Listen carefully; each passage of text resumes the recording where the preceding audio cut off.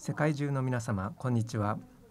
イノベーション・フォー・クール・アース・フォーラム ICEF の第7回年次総会へのご参加誠にありがとうございます。ICEF は経済産業省及び新エネルギー産業技術総合開発機構により主催されています。このセッションでは皆様から質問を受け付けております。実はこれまでですねこのシスコ WebX のシステムでこのサーバーエラーがありました。今復旧しておりますけれども接続の問題があれば再度接続をし直す必要が生じるかもしれません。なおこのセッションでは皆様から質問を受け付けております。質問をするには画面の下の質問投稿エリアの方をご利用ください。あるいはプログラムのメニューから質問投稿のページの方にお移りください。ぜひ質問をお送りください。それでは本会議セッション3を始めます。まずこのセッションのモデレーターをご紹介申し上げます。山地健二様です。山地様は地球環境産業技術研究機構ライトの副理事長研究所長を務めていらっしゃいます。また東京大学の名誉教授でいらっしゃいます。このセッションのスピーカーの皆様です。フィオナ・レイノルズ様、責任投資原則 PRI の CEO でいらっしゃいます。マンフレッド・フィシェディック様、ウッパタール気候環境エネルギー研究所の所長でいらっしゃいます。トム・ディレイ様、カーボントラストの最高経営責任者 CEO でいらっしゃいます。そして吉野明様産業技術総合研究所ゼロエミッション国際共同研究センター長でいらっしゃいます。それではモデレーターの山地様よろしくお願いします。ありがとうございます。ご紹介いただきましてありがとうございます。私のスライドをお願いします。皆様本会議のセッション3を開始させていただきます。モデレーターの山地です。でこのセッションのテーマですがビヨンドゼロの実現に向けてということです。このビヨンドゼロについて少し説明します。ビヨンドゼロというのは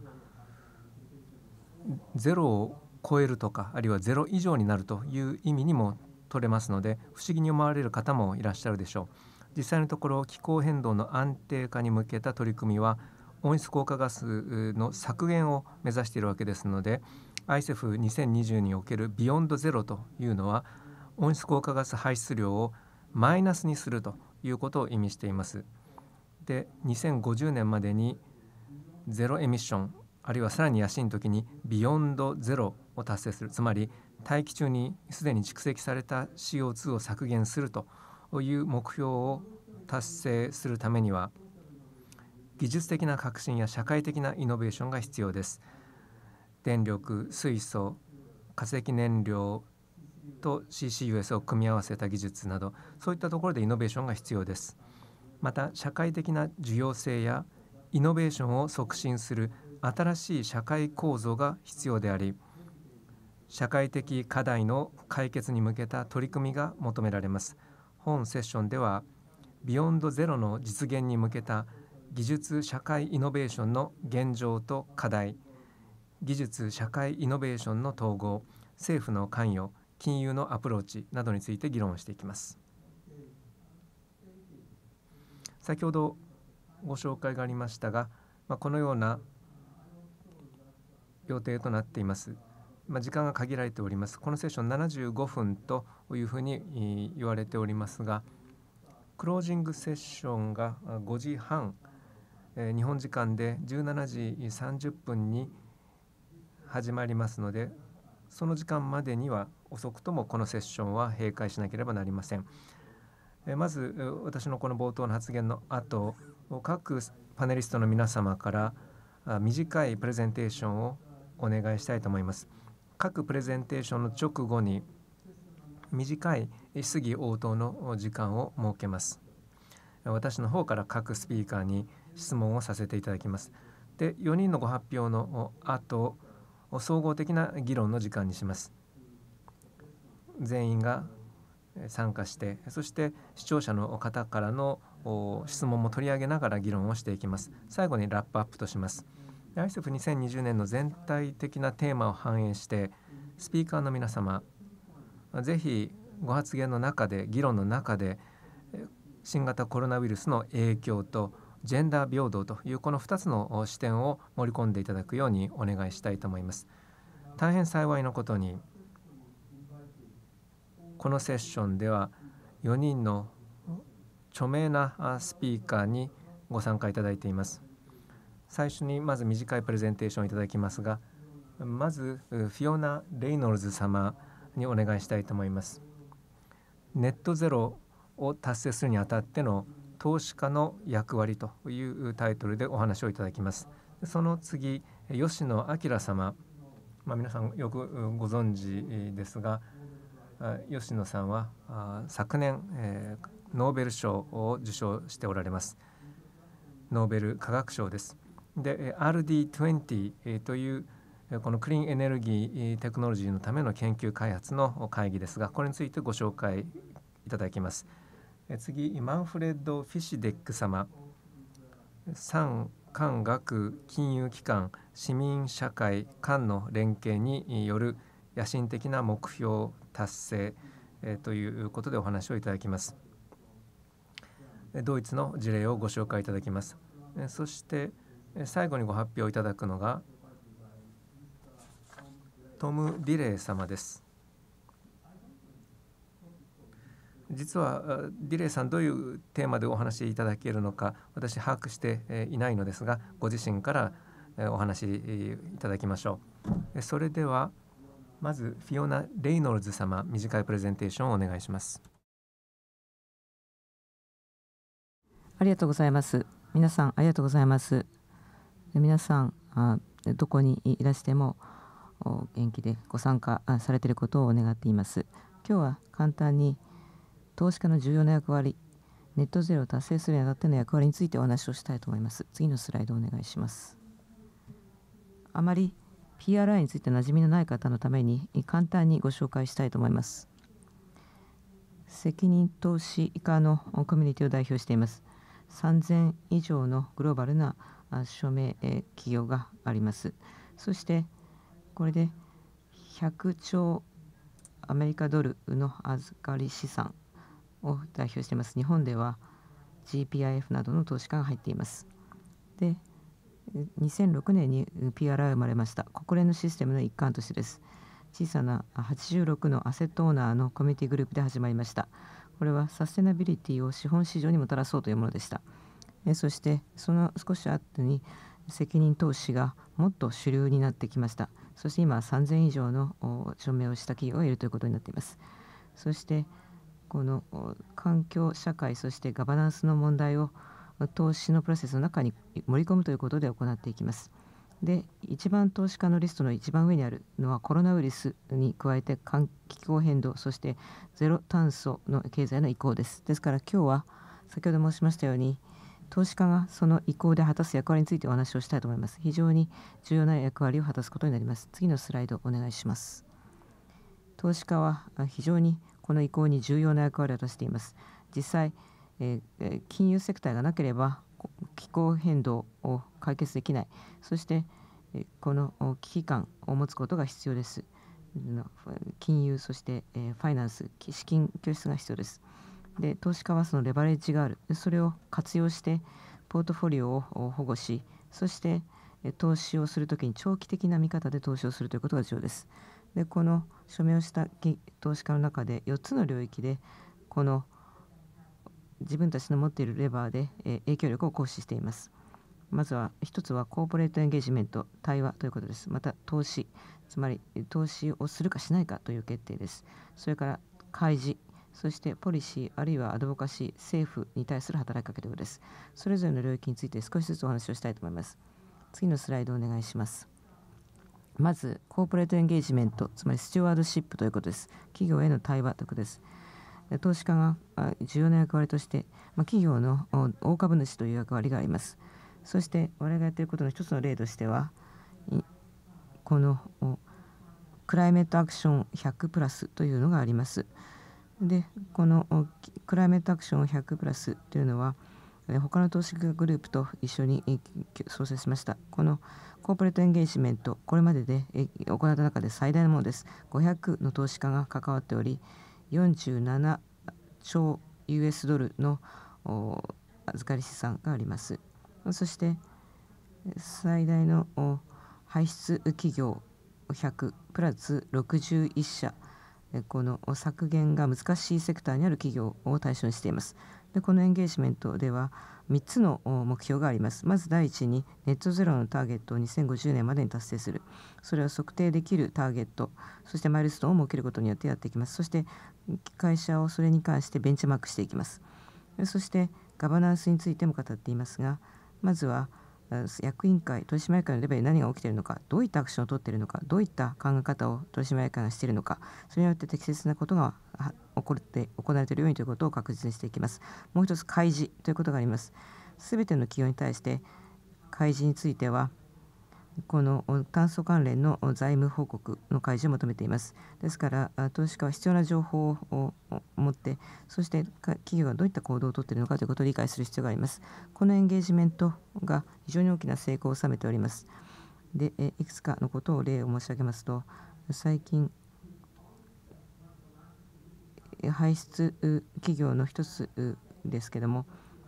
ネットゼロの野心それを更新しましたで最も野心的な移行というのは石油ガスの中では、まあ、このシェールが一番、えー、野心的だと言えます。でこれが包括的な中期的な計画2030年までの計画となっています。でこれが直接的な我々のエンゲージメントの結果投資家のエンゲージメント結果としてもたらしたものです、えー、途上国だけでなくグローバルですので先進国だけでなく途上国でも活動しています。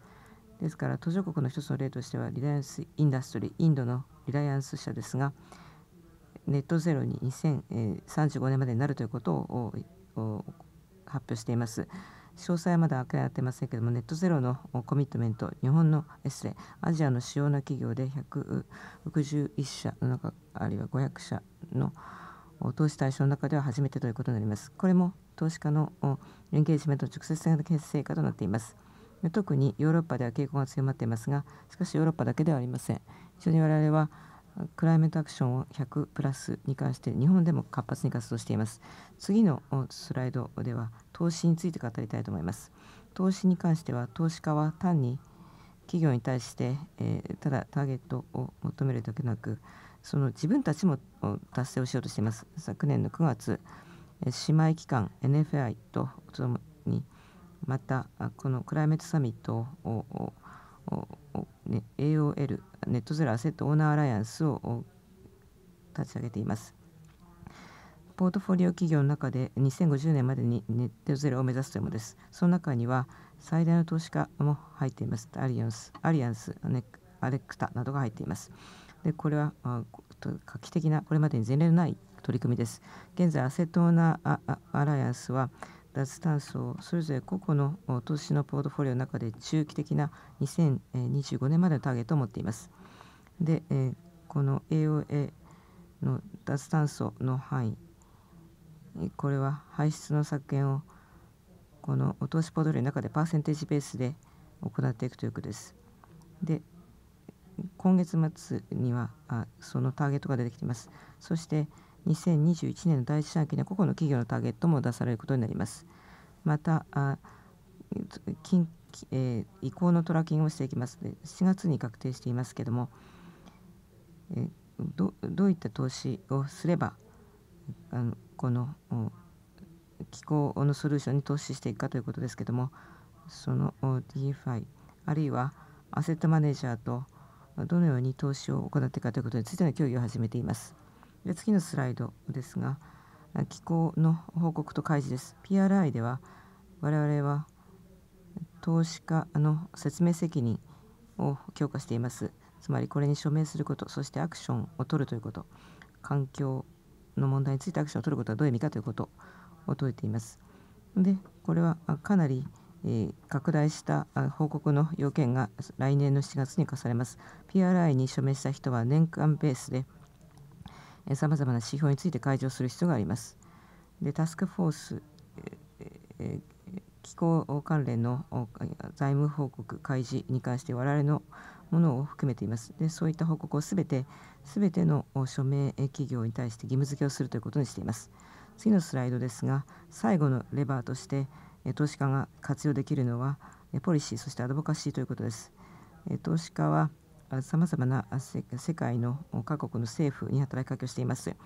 民間セクターからのさまざまな取り組みあるけれどもしかしながらネットゼロに投資家としてポートフォリオ全体で達成するというのはやはり政府の政策設定が変わらない限りは難しいと言います。で主な成果として PRA が取り組んでいるのがやはり回避できない政策の対応ということです。で、えこの遅れが長く続けば続くほど政策で無策が続けば続くほどこの政策の変更がさらに破壊的なものになってしまいます。それが全ての人に影響を与えます。でも特に投資家市場に投資市場に影響を与えます。ですから我々の PRI の作業を通じて投資家に行動を呼びかけています。そして単に政府が何か行動を取るのを待っているのではなくて政府に対して働きかけをしています。つまりこの政府が使える政策のレバーを使うように言っています。え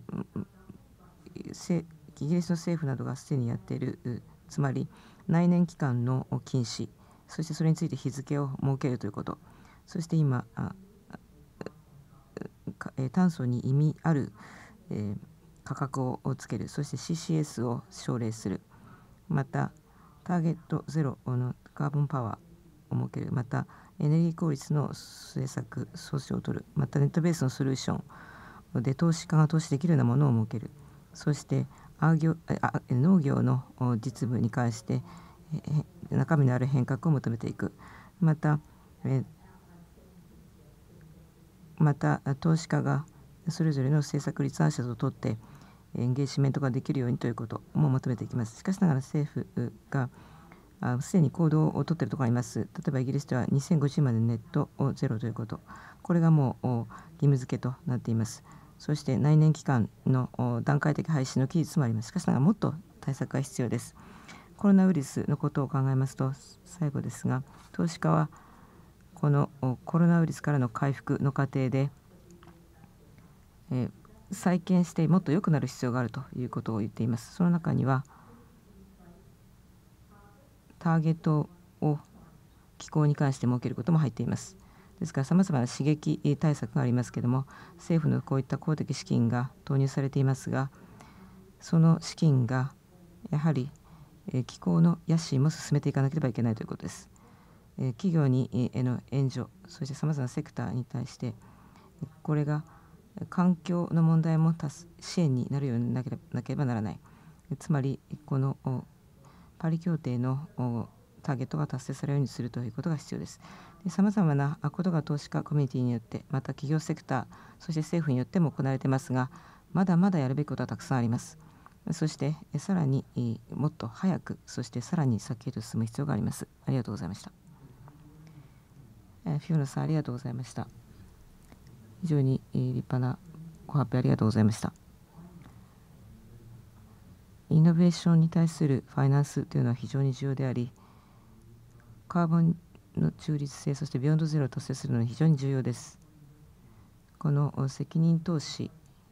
原則によってビジネスセクターに刺激を与えることになります。持続可能な社会を実現する刺激となります。しかしながら一方でビヨンドゼロを実現するあるいはカーボンニュートラリティを実現するには非常に大きな経済的な課題となります。えコストも非常にかかる可能性もあります。そしてファイナンスが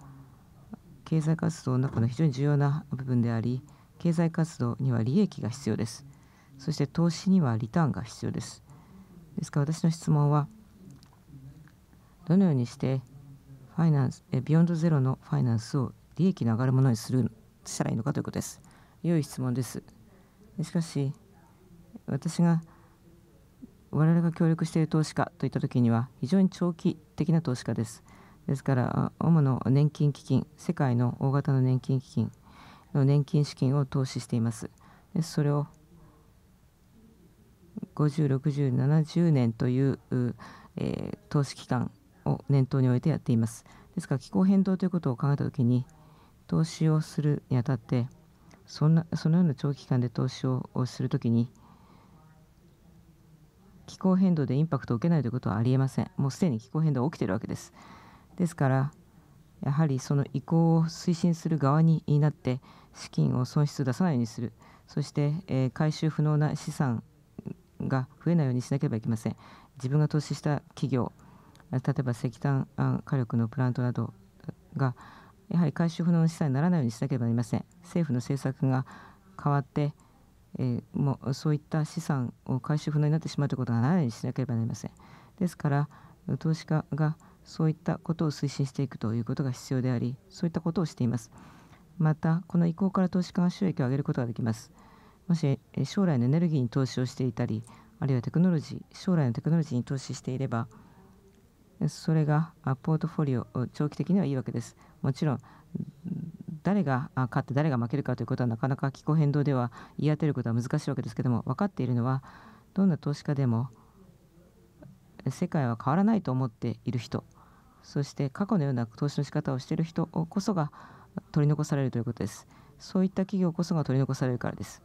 ですから、そこに我々は焦点を当てています。つまり、焦点はいかにネットゼロに行くか、どのように利益を上げるか、そして我々のポートフォリオをいかに保護するか、こういったことはすべて実現可能だと思っています。ありがとうございます。では次のプレゼンテーションに移ります。吉野先生お願いしますクリーンエネルギー技術の研究開発に関する国際会議 RD20 をご紹介します RD20 は産業技術総合研究所産総研が主催する国際会議です産総研は2001年に経済産業省傘下の15の国立研究所が統合して設立された日本最大級の公的研究機関です。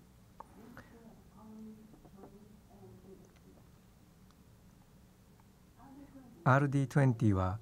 気候変動の中でイノベーションを加速するための日本のイニシアチブの一つとしてスタートしました2019年1月のダボス会議でその設立が発表されました。世界の CO2 排出量の大部分を占める G20 の構成国はクリーンエネルギー技術のイノベーションと開発を主導してリーダーシップを発揮することが求められています。RD20 は G20 諸国の主要な研究開発機関のトップを集めて開催されます。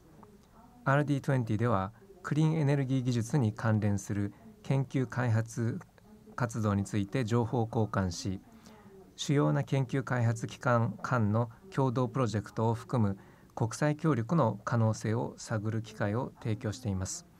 第1回の RD20 は昨年10月に東京で開催され23の機関が参加しました。参加者は RD20 メンバー間の相互協力や国際標準化が重要であり ICEF との連携が有益であるとの認識で一致しました。これらは RD20 議長サマリーとしてまとめられています。今年2020年には第2回 RD20 が開催されテクニカルセッションとリーダーズセッションから構成されています。いずれもハイブリッド会議として開催されています。テクニカルセッションは先週開催されました。ここに示す4つのテーマにまつわるグローバルな課題を議論しました。リーダーズセッションは明日10月9日に開催され研究の標準化と人材育成に関するグローバルな協力についてハイレベルで議論が行われます。リーダーズセッションの結論はリーダー声明にまとめられます。産業総合産業技術総合研究所ゼロエミッション国際共同研究センター長の吉野明博士が各セッションに登壇します9月30日の技術セッションで行われた吉野センター長の次世代エネルギーシステムにおける蓄電池の役割についての講演を簡単にご紹介します。吉野博士はリチウムイオン電池の研究で2019年ノーベル化学賞を受賞しています。リチウムイオン電池 LIB は主に2つの理由から社会的に注目されています。一つはリチウムイオン電池がモバイル IT 社会を可能にしたことそしてもう一つこの電池は持続可能な社会へのさらなる貢献が期待されているということです持続可能な社会については吉野氏はあらゆる技術分野において電池の技術が重要な役割を果たすと強調しました。またリチウムイオン電池と新しい技術の結合により環境経済利便性が調和したより良い社会を実現する大きな可能性があるということを示しました。以上が吉野博士の講演の要約です。我々は気候変動問題を解決するためにエネルギー及び環境におけるイノベーションの重要性を信じています ICEF と RD20 が連携し脱炭素社会の実現を目指していければと願っています最後に産総研のゼロエミッション国際共同研究センターの簡単な紹介ビデオをご覧いただきたいと思います。ご清聴ありがとうございました。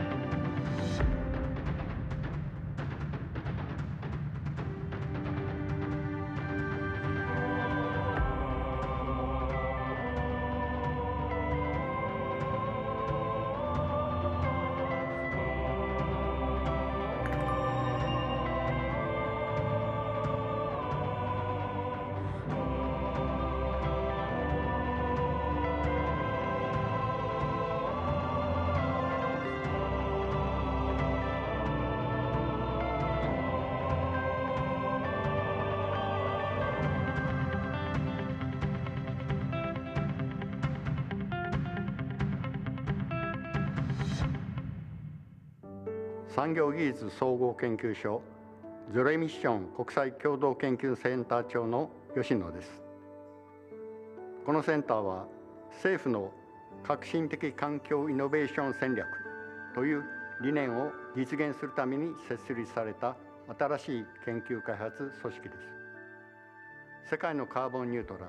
さらにはビヨンドゼロに向けた技術革新を目指しています。地球環境問題は相当な難敵ですがその解決は不可能ではありません。ただし一つの技術で解決できるものではありません。いくつかの技術を融合させていくことが大事だと思っております。地球環境問題の解決に必要なことは環境性経済性利便性の3つの要素が揃うことが必須の要件になります。この3つの要素は一見相反するものと思われますが不可能を可能にする。これがイノベーションでありこのセンターの使命だと考えております。国際協調も含めたアプローチでサステイナブル社会を実現していきましょう。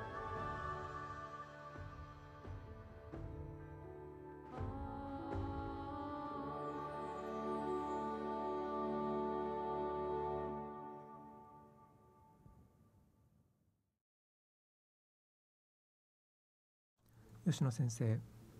素晴らしいビデオメッセージありがとうございました。RD20 のご紹介それからゼロエミッション国際共同研究センターの活動についてご紹介いただきました。ここでちょっと日本語で話させてください。吉野先生との間では日本語の方が話しやすいのでまた日本の視聴者の皆様も聞きやすいと思いますので日本語に切り替えます。で太陽光それからバッテリーあの重要なんですけれども我々この今回のセッションのテーマ「ビヨンドゼロ」ゼロを超えてつまり太陽光発電でもゼロにはなるんだけどマイナスにはならない。それを今考えようとしてるんですけれどもあのよく世の中ではその植林であるとかあるいはバイオマスを使うんだけどバイオマスのから出る CO2 を CCS で埋めるとかあのそういうことが行われてるんですけど吉野先生それから、まあ、あのゼロエミッション国際共同研究センターでビヨンドゼロに関する取り組みということの方向ではどんなことを行ってて先生はどういうシナリオを描いておられるのかそこをお話しいただけませんでしょうか。はいあの CO2 の排出を抑えることこれは当然のことながら非常に重要だと思います。ただ今おっしゃったあネガティブエミッションテクノロジー、えー、これもとさらに重要な技術かと思います。ではその答えをどこから考えていくかということになるかと思うんですがあちょっと哲学的なあお答えで申し訳ないんですけどもそのヒントはおそらくその地球誕生から現在に至るまでのその炭酸ガス濃度の推移ですね。これを考えていきますと、まあ、当然その地球が誕生した時点での CO2 濃度というのは数十パーセントだったと言われております。でこれは現在約 400ppm までこう減ってきたわけですよね。で2つの要素が言われております。一つは、えー、炭酸ガスっていうのはあの、えー、酸性物質でなもんですからいわゆる中和反応これによって CO2 濃度が下がってきましたよと例えて言えば炭酸カルシウムのような化合物ですねそういう形で今固定化されてますよと。で残念ながら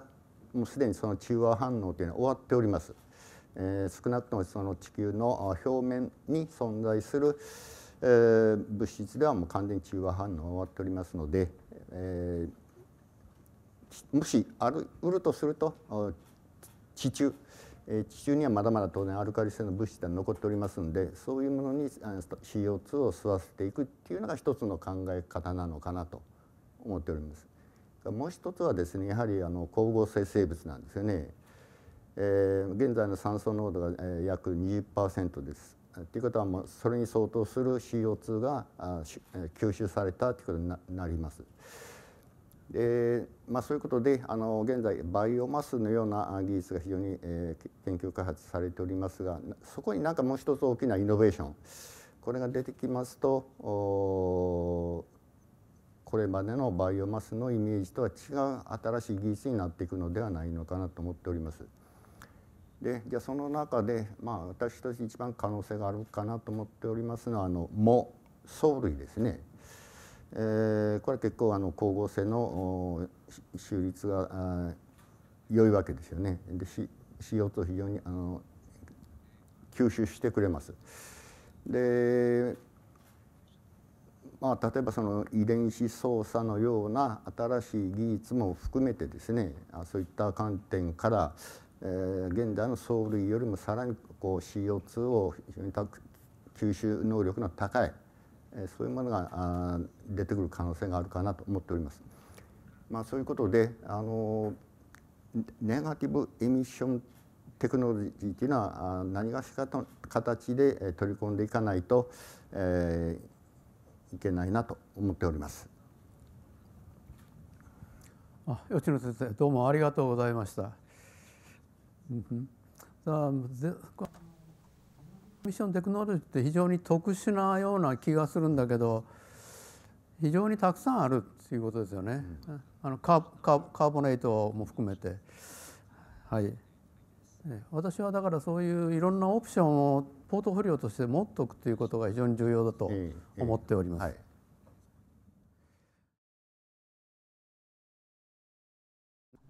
では次に移ります。次はマンフレッド・フィッシュデック教授です。ではフィッシュデック先生お願いいたします。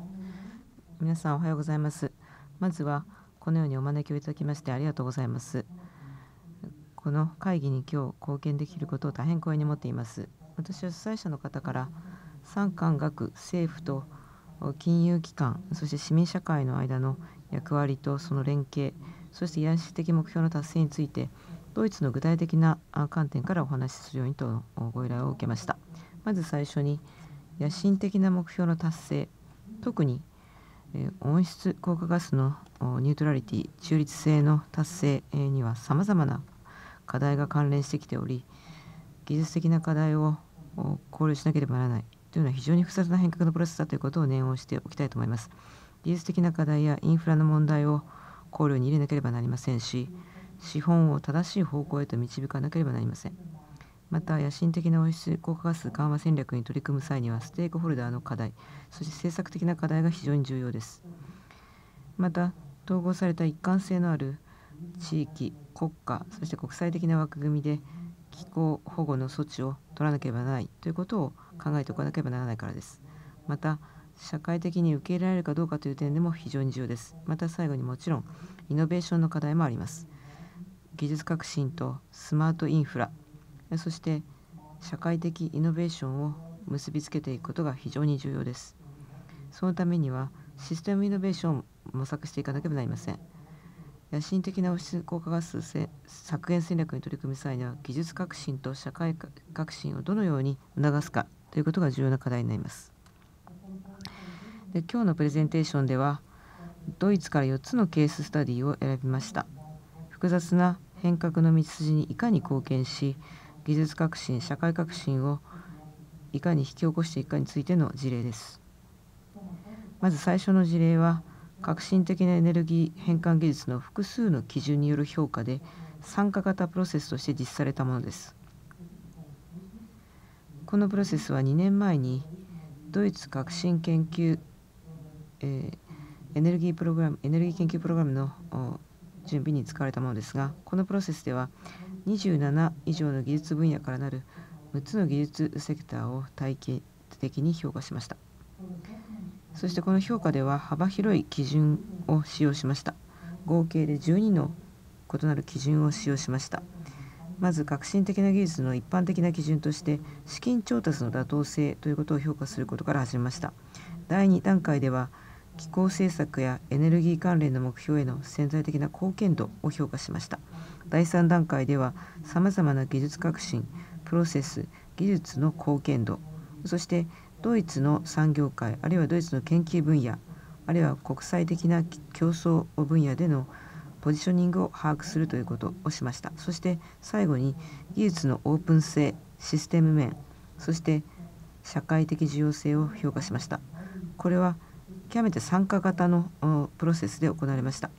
このプロセスには産業界学会 NGO あるいは市民団体なども巻き込んでさまざまな形でステークホルダーを参加させました。対面でのインタビューも行いまた多くのワークショップやオンライン調査も行いましたそれによって最終的には革新的で有望な技術についての非常に堅牢な評価をすることができその成果が今ではドイツエネルギー研究プログラムに取り込まれています2つ目の事例としてはノルトライン・ベストファーレン州の気候保護計画の策定プロセスです。ノルトライン・ベストファーレン州とはドイツの連邦州の一つでドイツ最大の州です。そして、えー、1800万人の人口を有しておりドイツでは最も重要な経済産業地域です。多くのエネルギー資源集約型産業の本拠地でありカッタンの炭鉱も多くあります。ですからドイツのエネルギー転換プロセスを成功させるためには非常に重要な州です。ではこの気候保護計画のプロセスではどのようなことが行われたか。そのプロセスの目的は何だったのかということですがもちろん中心となる戦略戦略とこのエネルギーベンドの目標を達成するためのニーズを明確にすることでした。第2に戦略と対策を一貫したシナリオと経路にまとめること。そしてもちろん技術的制度的社会的側面からのイノベーションのニーズを特定するということもこの気候変気候保護計画プロセスの目的の一つでした。しかし私たちが特に関心を持っていたのはステークホルダーの参画プロセスでした。そのため策定プロセスでは戦略としてさまざまな機関から400人以上のステークホルダーが参加しました。エネルギー事業者エネルギー集約型産業商工会議所消費者団体環境保護を目的とした NGO その他多くの当事者が候保護計画の策定プロセスにまさに最初の段階から関わってきました。このプレスの補完として閣僚間のあるいは、え、省庁間の作業部会があり、え、策定プロセスの支援の場が作られました。最終的には多くの信頼が生まれて、まあ、支持も得られ非常に成功したプロセスとなりました。またこのような気候保護計画の策定、えというのが成功裏に実施させる可能性というのは従来型のプロセスと比較するとはるかに高いという期待が生まれました。その結果いくつかのフォローアップ活動が行われました。そのフォローアップ活動の一つでおそらくは最も重要なものだったのが IN4climate イニシアティブと呼ばれるイニシアティブです。IN4climate NRW は産業界そして学界そしてノルトライン・ウェストファーレン州政府の間の新しいユニークな連携プラットフォームです。その目的はこの州のエネルギー集約型産業の高い競争力を維持しパリ協定の気候目標を達成するための戦略を策定することです。そのため多くのパートナーが科学分野学術機関あるいは産業界からも参加しています。現在32以上の産業界の企業がこのプロセスに参加しています。学会と産業界の協力によりイノベーションチームが組織されました。そして異なる分野の人々が緊密に連携して非常に集中的な協業を行っています。ではイノベーションチームで何をしているのかということですが4つのステップにまとめることができます。イノベーションチームは新技術の開発に向けたきっかけを与え将来の道筋について共通理解を求めていきます。そして具体的な戦略を実行する際に経済の再構築の必要性についても議論していきます。そして最後に適切な政策の枠組みをどのように構築するか構築するかについての提言も行います。さらなる情報はインターネットに、えー、ありますそしてインターネットでは短いビデオもご視聴になれますこのプロセスそして今後のステップについても見ることができます。最後にイノベーションを誘発し野心的な温室効果ガスの緩和目標の達成に貢献するために必要な手順を支援する国際協力の取り組みについてお話をします。4年前我々は日本の学会のパートナーとともにいわゆるドイツ日本エネルギー移行協議会というものを設置しました。この協議会では成功した実施ステップあるいは有望な技術的失礼革新的な技術そして有望な政策手段などについての経験値を交換しています。これは両国の科学機関の間で行われる大規模な議論のプロセスです。また産業界の企業を招待する形式もありますですからドイツの視点から見た、まあ、多くの事例をご紹介させていただきました。以上で短いですがプレゼンテーション終わります。ご清聴ありがとうございました。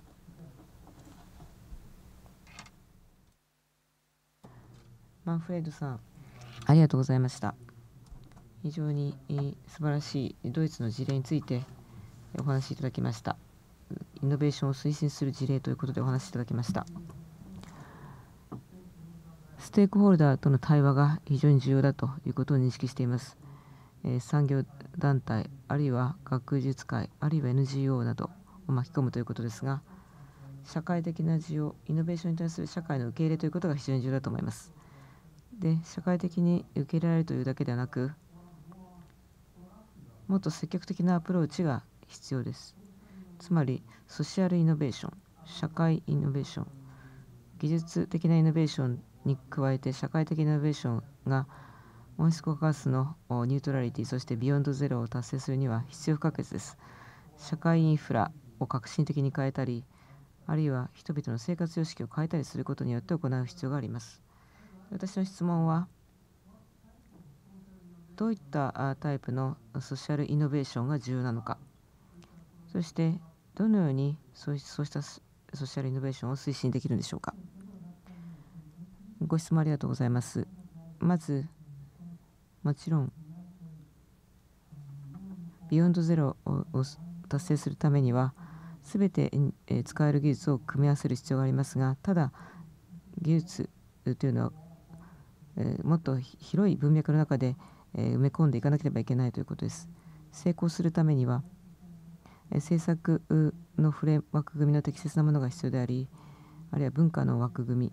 あるいは社会枠組みの適切なものが必要です。また制度も必要です。その中にはステークホルダーの関与を進めることも必要ですが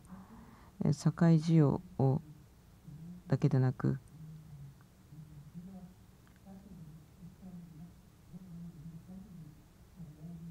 もっと大きな枠組みでのステークホルダーを巻き込んで技術の不足点まで特定していかなければなりません。でさらにそういったステークホルダーの関与によって投資が生まれます。そして投資を承知するような雰囲気が生まれます。ですからこうしたステークホルダーの関与そして社会的なイノベーションが必要になります。新しい技術の特定あるいはニーズを特定するためだけでなく確固たる基盤を使って投資のステークホルダーの投資を呼び込む基盤を作るという意味でも重要です。そこを強調したかったと思います。ありがとうございました。では最後のスピーカーですがトム・ディレイさんです。最後はトム・ディレイさんです。ディレイさんのテーマを伺っていませんが、それで始めてください。まず、このような機会をくださった ISEF に感謝申し上げます。カーボントラストの取り組みについてご紹介する機会をいただきました。我々はグローバルな組織です。北京、シンガポール、アフリカ、ヨーロッパ、メキシコ、アメリカなどに拠点を設けています。我々は企業がネットゼロの経路を構築するのをお手伝いしています。これ長期的にネットゼロそれからビヨンドゼロに達成できるようにお手伝いしていますそれから技術開発にも関わっています10年以上この洋上風力という技術の開発に関わってきましたで3つの領域でコメントしたいと思います。まず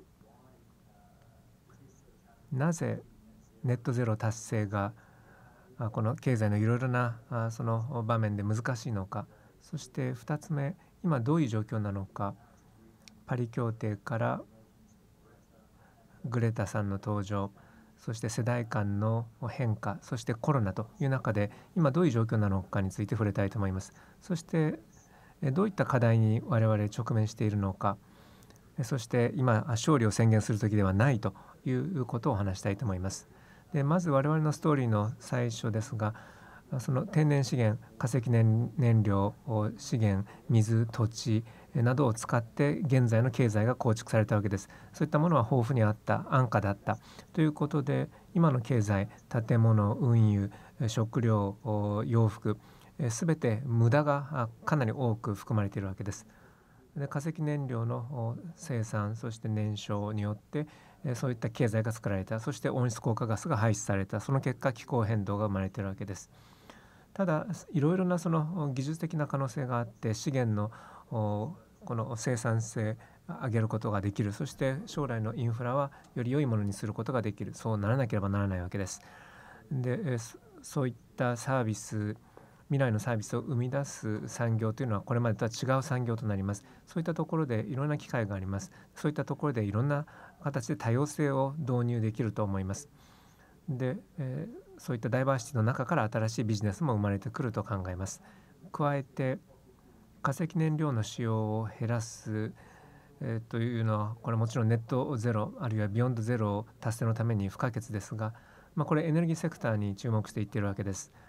でそれがその移行の中で重要な位置を占めているわけです。でネットゼロのチャレンジというのはとてもその大変なことであるわけです。なぜ難しいかというと変化の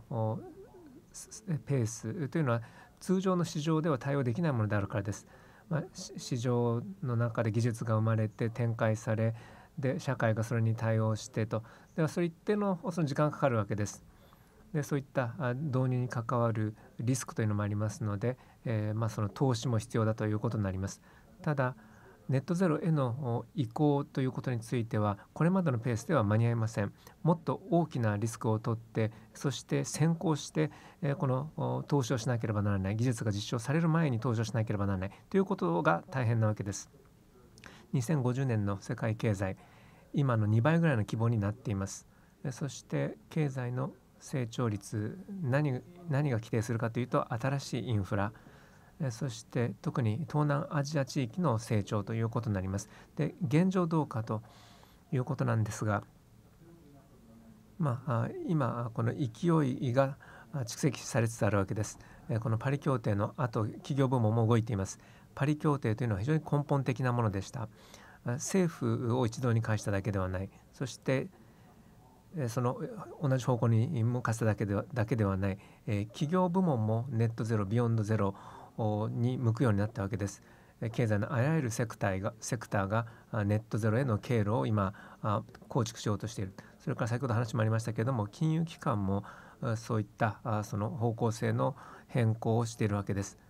でそういった中でこの善のための力が生まれるわけです。で1年半2年ほど前えグレータさんが登場した、まあ、グレータさんのような人たちがあ登場したわけです。でグレータさんは新しい世代をこのネットゼロに向けた課題に引き入れたわけです。で世代間の対話を始めたわけです。でそれが企業の活動に大きな影響を与えています。企業でグレタさんの影響を無視できるところはなくなった。本当にその強力にですね世界の指導者に対して、えこのもっとやらなければならないということを訴えたわけです。それがまた勢いにつながっているわけです。で今コロナの影響というのが出ています。非常にその破壊的な影響でもありますけれどもこの先前進していくための勢いをつけてくれる要素でもあります。景気刺激策というのがコロナ後出ています。でその中で雇用を生み出すそしてその資本を構築していくということができるわけです。でそういった中でこれまでよりも早く社会を大きく変えていくことができるというわけです。それが大きな違いを生むと考えています。このパンデミックを受けて人々は気づいているわけです。まあ、いろいろなそのメリットがあるわけですね。例えば空が青くなっていると大気汚染が減っているということであるわけです。でそういった人たちにからするとですねそのネットゼロへの移行ということの重要性がますます明らかになってきているわけです。ということでそういった勢いが生まれている社会の変革を生み出しているでその中でやはりその政策ファイナンスそして大企業のこの行動能力の中のそのアライメントを進めていかなければならないということです。でロックインというリスクがあります。つまり行動や消費そしてインフラこういったものがロックインされてしまう。で短期的な利益の方にロックインされてしまうという危険があるわけです。でネットゼロには到達しないということで開きな開き直ってしまうという危険があるわけです。で脱炭素化にはテクノロジーのブレイクスルーが必要です。で新しいソリューションが必要であるわけです。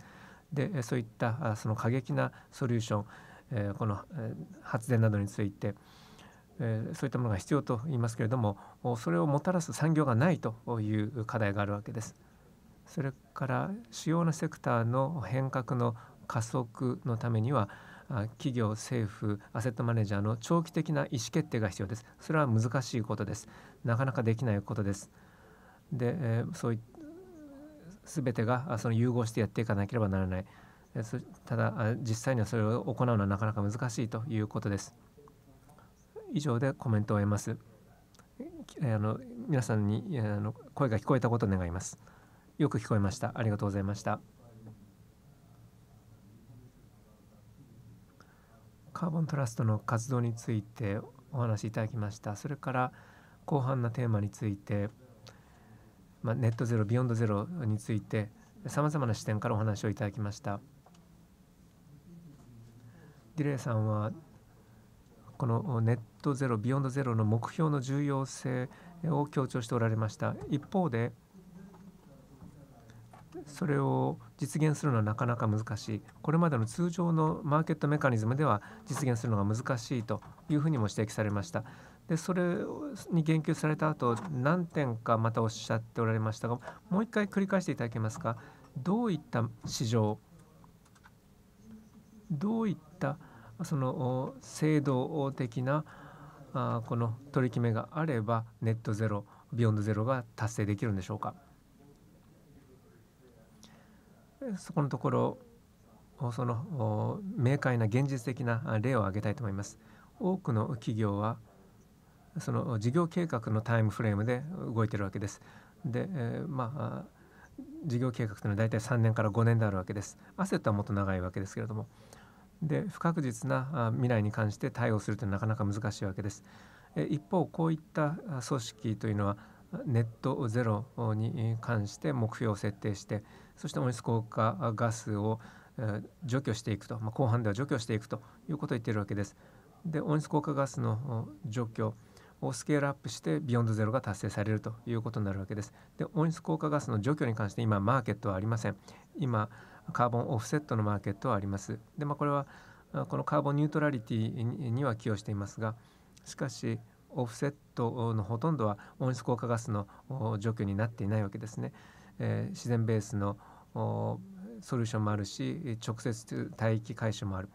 そういったものはその温室効果ガスの回収になるわけですけれどもそのためのマーケットがないということで今開発の段階ではその公的な資金に依存しているわけです、あるいは慈善団体からの資金に頼っているわけです。で我々が今やろうとしているのはマーケットメカニズムを構築しようというわけです。温室効果ガスの状況というのは10、20、30年後にようやくスケールアップしてくるというものですがそれをもっとその先倒し前倒ししていくとそういった温室効果ガス状況を必要とする企業によってそれを実現しようということです。事前に調達をするあるいはソリューションを達成す作るために必要な人たちに直接的なファンディングをしていくということも含まれます。マイクロソフトはネットゼロにコミットしています。10億ドル、使って、この、えー、DAC をやろうとしている。アマゾンも機構のコミットメントで20億ドル、温室効果ガス除去に投じるということを言っています。ということで公的な資金政府の資金とそれから最終的にそういったものをつまり温室効果ガス除去を必要とする、えー、主体からのプル、えー、これを組み合わせていくということが必要だと考えます。ありがとうございました。それでは一般的な討論に移りたいと思います。視聴者の皆さんからの質問に対する回答も含めていきたいと思います。ただその前に4つのご発表がありました。そしていくつか質疑応答を発表者の方と私の間で行いましたが、他の発表者の方が、ま、別のパネリストの方への質問があるかもしれません。もしパネリスト同士でご質問があればどうぞ何か質問があれば手を挙げてください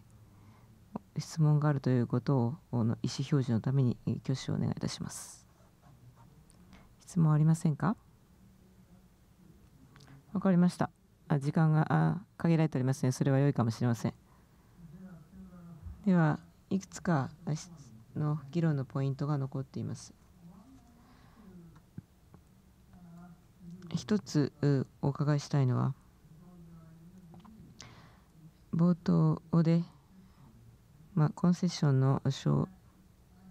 前段のところで申しましたが発表の中に2つの項目を入れてくださいと言いました。新型コロナウイルスの影響はどんな影響だったかそしてもう一つはジェンダーの平等ということでした。コロナの影響についてはすでに一部言及されましたがジェンダーの平等についてはほとんど触れられていません。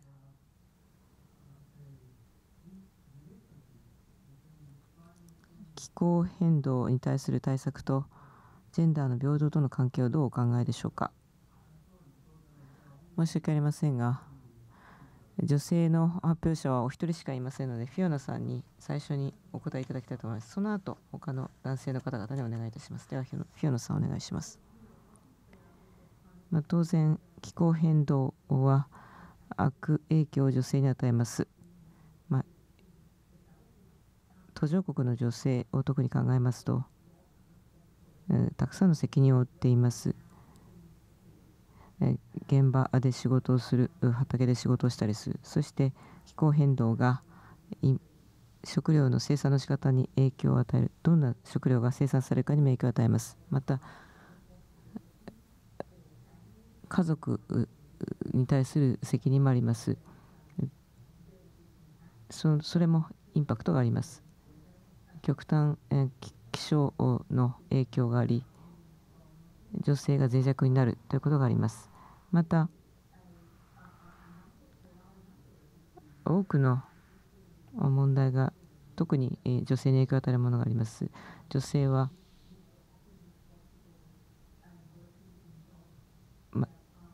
働いている仕事があっても低賃金である傾向があったり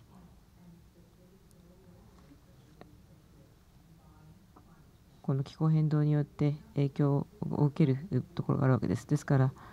女性としては気候変動を避けることはできませんがやはりジェンダーの多様性ということになると女性がさまざまな形で影響を受けることになります。ですからこれを検討考慮しなければいけないと思います。ありがとうございます。私もおっしゃる通りだと思います。女性がより気候変動に関するリスクに、敏感であると思います。それは非常に重要だと思います。ですから女性が気候変動の対策でリーダー的役割を果たしてほしいと思います。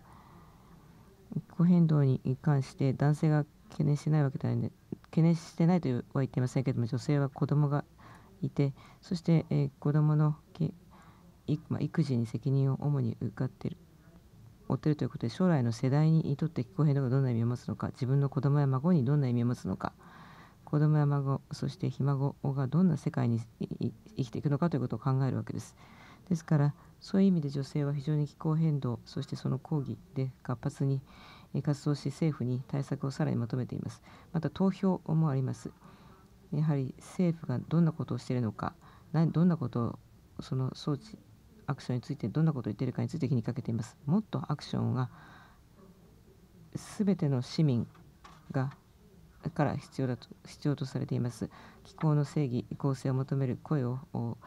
高める必要がありますが、女性がもっと大きな役割を果たせると思います。ありがとうございます。それではマンフレッドさん、その後トムさんお願いします。一つ考えたことがあります。フィオナさんがおっしゃっていること、女性が機械変動の影響をより大きく受けるということで、その影響についてより懸念しているということだと思いますが、私の経験を話しますと、多くの国の女性というのは重要な意思決定者であるわけですそしてさまざまなテクノロジーを提供していかなければなりませんその技術開発のプロセスにも女性に参加してもらわなければならないどういった技術を開発していったらいいのかどういった技術があれば問題解決につながるのかそういったところでその女性の意見というのは非常に重要です。ではありがとうございます。トムさん、トムさんの後吉野先生お願いします。今おっしゃられたこと全く同感です。もう一言加えたいと思います。エネルギーセクター、伝統的に男性中心の業界でした。本当に男性が多い業界であるわけです。これまでそういった形で行われてきた。しかしそれが大きく変化しつつあります。今我々20人30人ぐらい数ヶ月ごとに採用していますが若い優秀な新卒の人たちです。サステナビリティにコミットしてそしてネットゼロ実現のために働きたいという人たちです。でその過半が女性です。でまあその高等教育を受ける人の比率も女性が多くなっているということでその女性はですねそういった解決策の一部になりたいそういう需要があるわけです。気候変動の影響をより強く受ける女性が関心を示してくれているわけです。科学科学技術のバックグラウンドを持っている人たちも多くいます。そういったところ女性がこれまで少ないと言われていたんですがそういったバックグラウンドを持つ女性はですねサステナビリティというところでキャリアを構築したいと考えている。非常にありがたいことだと思っています。ありがとうございました。吉野先生お願いしますでねあのコロナの問題とそれからあ地球環境問題それとジェンダーの問題この3つ合わせてコメントさせていただきたいと思います。えー、今回のコロナの問題が起こりましてですねあの皆さんごご存知だと思いますけど国連の提唱している SDGs17 項目ございますよね。でその17項目の中でコロナをどこに位置づけていたのかっていうことを見ますとややはり入っております、えー、アイテムの3ですね。全ての人に健康っていうの項目がちゃんと入っております。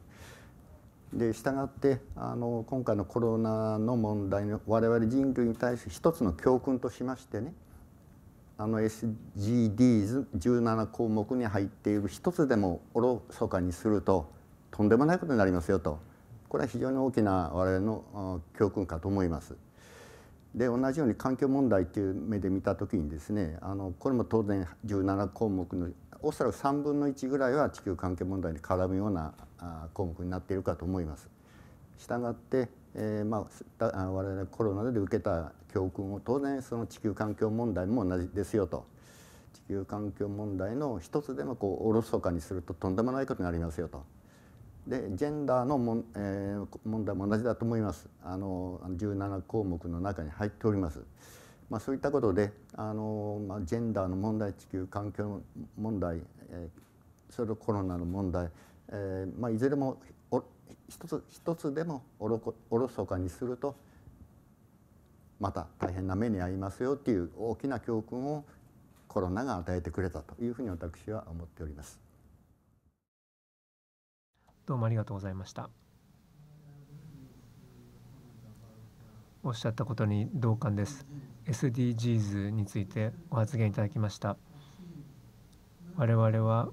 よくバランスの取れたその結果を目指すべきであると。17の SDGs の目標すべてバランスの取れた形で達成していくべきだと思います。フィオナさんどうぞ。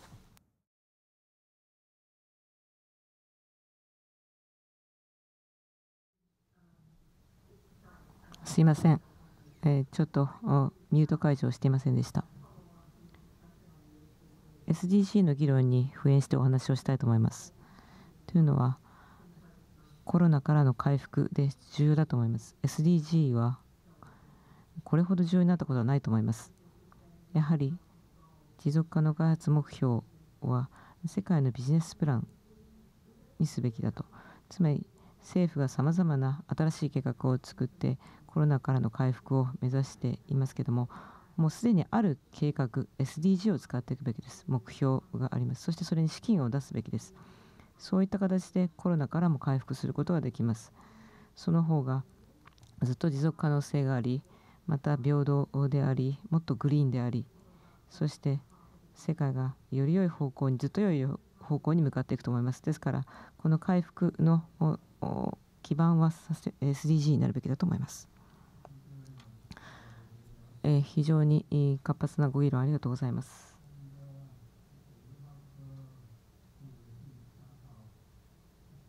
いくつか質問を視聴されている方からお受けしています。一つは、すでに議論したことです。ジェンダーの平等でした。で、他にいくつかありますけども、私が一つここで選びたいと思います。どういった計画ロードマップが石油が石油セクターにあるかゼロエミッションをと達成するためにそして石油セクターがネットゼロを実現する期日スケジュールはどうかということですこれは技術的な質問だと思いますがトムさんこの石油ビジネスに関わっていらっしゃいましたよね。はい。16年間セルで勤務していました。世界各国特にアフリカヨーロッパで勤務していました。この石油ガス企業というのは根本的な課題に直面していると思います。低炭素未来に向かっていくためです。で何年にわたってこういった企業内で移行が本当に自分たちにインパクトを与えるということを認めたがらなかったわけですけどもある程度やはりこの産業革命も起こしたそして貧困から人々を引き上げたそしてエネルギーでいろいろなことが実現してきた何も変わらないと言ってきたわけですけどもやはり根本的にことが変わるということを今認識してきています。ですから大手の石油ガス企業が今移行モードに移してきています。え、その BP が非常に良い例だということをフィオナさんが言っていました。で少し前に例がありましたがまあ、同じような建設同じような形で石油ガスの仕事を減らすそして、え、この企業の中核となっているビジネスから撤退しほとんどパワー電力をを中心とした方に移っていくと。で非常に興味深いのはその変え方として株主に対していかに配当政策をその期間も維持するかということを説明していました。それがある意味ではスケジュールになると思います。今からすでに行っています。でそこから、えー、パワー電力のポートフォリオをできるだけ増やしていく。そして2030年の目標は、えー、エネルイタリアの電力会社と同じです。非常に大規模な再エネのポートフォリオをラテンアメリカに持っています。46ギガワットがすでにあります。でですからこの移行の中で、まあ、10年間だと思います。ビジネスモデルが根本的に変わっていくと思います。で石油ガスセクターの他社まだそういった立場に当たっていない他社もあります。で同じような意欲あるいは能力そういったあ容量も、まあ、投資基盤そして、えー、所有者の構造からできないところもあると思います。しかしながらリーダー的存在の企業はすでに大きな進捗を見せていく。20年後にはもう石油ガス企業、今とは全く変わり果てた姿になると思います。ありがとうございます。フィオナさんが手を挙げてますね。ではお願いします。え私もトムさんが言ったことに付け加えたいと思います。え石油ガスのメジャーはすべて私がお話しした気候変動を役プラスで投資家がまあ、大の排出100社のエンゲージメントの対象となっています。でいろいろな意味あることが起きています。ですから、クライメートアクションは100プラス BP、トタル、そしてセルなどと対応していますが、そういった企業はすべて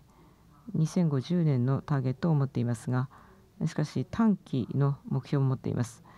それは、あそれをベンチマークにして比較していきます。我々の対応を続けていきます。非常に今2050年という遠い将来の目標ももちろん設定できますが短期の目標も必要です。また多くの企業が、えー、123、えー、スコープ123という排出を持っています。でトムが言ってことに戻りますけどもそれを一歩進めたいと思います。えーまあえー、大西洋を超えたバイヤーというのがいると思います。えつまりいろいろなオプションがあります。特にヨーロッパの石油ガスのメジャーに関してですがしかしなか必ずしもそれがアメリカで同じような現象が起きているわけではありません。ですから同様のアクションがエクソンあるいはシェブロンなどから見られているわけではありません。そこのところの差を埋めていかなければならないそのためには政治の意思が必要です国として方向性を設定して政府もその方向に引っ張っていかなければならないということですでそういった国の中ではそのロビー団体があってこういったその気候アクションに反対しようというところもあるわけです。で我々投資家のコミュニティとしてその取り組んでいるわけです。気候アクションに対してロビー活動を行うところには資金を出さないということで行動しているわけです。そういった行動をますます強化してこの反気候ロビーストたちを止めなければならないと考えています。ありがとうございました。ちょっと時間もなくなってきました。75分は経過しましたが、もう少し時間がありそうです。このクロージングセッションまでにはもう少し時間があります。マンフレッドさん、手を挙げていらっしゃいますが、できるだけ手短にご発言お願いします。はい、ごく手短にお話します。これまでビジネスモデルの変更という話をしてきましたで、その石油業界についての状況、まあ、20年前を思い出してみると、BP などいろいろと話をしてきた。しかし今状況は全く変わっているわけです。ですでに大企業の方でいろいろと変化が見られます。でその投資に関してもクリティカルマスが見られます。テクノロジーの観点からも多くの石油会社がその方向を変えているわけです。電力の方に行こうとしているわけです。風力陸上洋上の風力に行こうということをしている。でまた多くの石油企業が化石燃料からこのグリーンなところにグリーンな合成燃料の方に行こうというふうにしているわけです。ということで、まあ、10年20年前とは状況が全く変わっているということです。まあ、新しいビジネスモデルをこの石油業界でも考え始めたのが10年20年前しかし今はもうかなり変わってきてるわけです。ありがとうございました。先ほど申しましたように時間がそろそろなくなってきましたのでラップアップの方に徐々に進みたいと思いますが最後にこのセッションのまとめをする前にですね皆さんにその最後の一言を、発言されたいという方挙手をお願いしたいと思います。あのえー、なるべく発言を抑制しようということではありませんのでよろしいでしょうか。ありがとうございました。それではいくつかのキーワードを取り上げたいと思います。ビヨンドゼロに関わるキーワードです。そしてそれでラップアップに変えたいと思います。まずビヨンドゼロというのはこれは温室効果ガスの中立性を実現するためにどうしても必要なものです。これは残るこの排出をなくすために必要です。そしてこのイノベーティブな技術をポートフォリオとして作っていくそしてネガティブエミッションのテクノロジーもその一部に含まれますけれどもそれも温室効果ガス中立性を達成するためには不可欠です。そしてさまざまなこの不確実性がある中で長い時間軸でやっていく中でそういったものが必要です。で技術イノベーションだけでなく社会的なイノベーションも重要な役割を果たします。ビヨンドゼロの実現に向けて重要です。例えば低エネルギー需要シナリオをベースラインにしていくそれはその共有とかサーキュラーエコノミーを推進することによって達成しうるものです。そしてすでにそのフィオナさんのプレゼンテーションについて、コメントしましたけれども Beyond Zero はこのコロナからのグリーン復興の中に、え取り込んでいかなければならないということです。私の方からのまとめは以上です。皆様貴重な貢献をいただきありがとうございました。本会議のセッション3ビヨンドゼロの実現に向けてはこれで終了といたします。ありがとうございました。